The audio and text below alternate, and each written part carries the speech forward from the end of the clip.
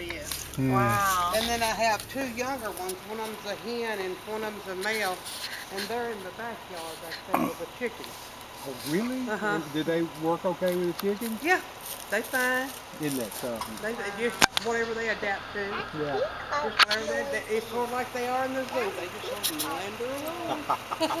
and love bugs. Oh boy, well that's not and then bad. he roosters up there, and at night time when things go quiet out here, he's home. Really? Yeah, he's, a- wonderful reptile. Just really looking at that neat?